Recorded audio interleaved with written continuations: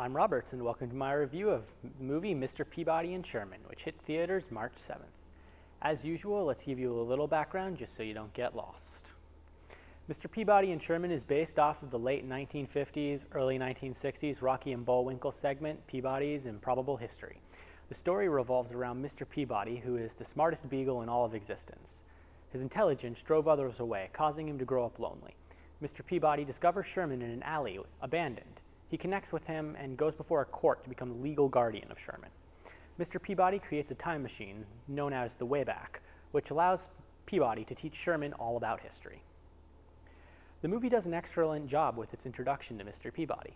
They make him seem very impressive. I connected with him with his depressing story of no one wanting him and seeing as he could talk, it wasn't that far of a step for me to believe that this is an amazing dog, which gained the distinction he has in the movie.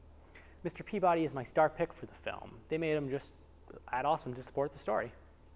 The CG in the movie has done very well, I would say. I don't remember watching any of the original series. I wasn't old enough to see them premiere, but I used to love these old shows. From what I did manage to see from a search on Google, though, the styles are similar to how they were, and the movie will bring back some nostalgia to anyone who was a fan of the original series.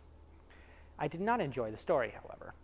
I thought that the majority of this story was set up as a nostalgic trip for anyone who had seen the original movie or seen the original series, and thus it wasn't that nice to the people who were new to it.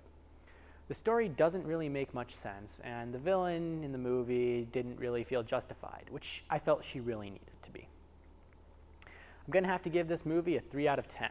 Unfortunately, what killed the movie for me was a lack of an interesting story. I do love the idea of bringing back classics from the past to appeal to children, its targeted audience, and then the adults who grew up watching these things.